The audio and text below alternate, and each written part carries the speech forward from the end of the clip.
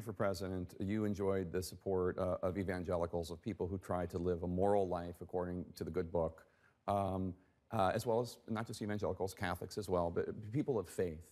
Um, one group that has not lost faith in this president are those voters, even though, I mean, he's making Bill Clinton, you know, look like a choir boy. Um, I mean, an affair with a porn star and Playboy Playmate of the Year, lying about it, hush payments.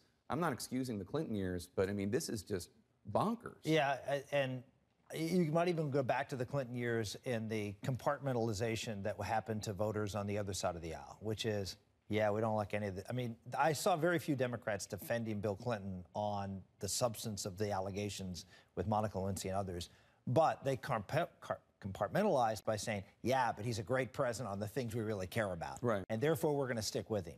That's going on here too. Now you can say, well, the Democrats were never never claimed to be moral, and therefore, you know, we shouldn't be. They, they, it's a different standard for evangelicals.